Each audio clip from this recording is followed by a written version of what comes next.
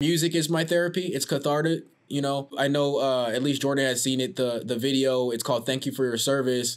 Where I'm like screaming in the car, but I took away the sound. That video, me pouring out the medicine, but the medicine is actually uh, pistol rounds and things like that. Like people have hit me up and they're like, "Hey, are you okay? Are you all right? Are you thinking they hurt yourself?" And I'm like, "No, I'm not.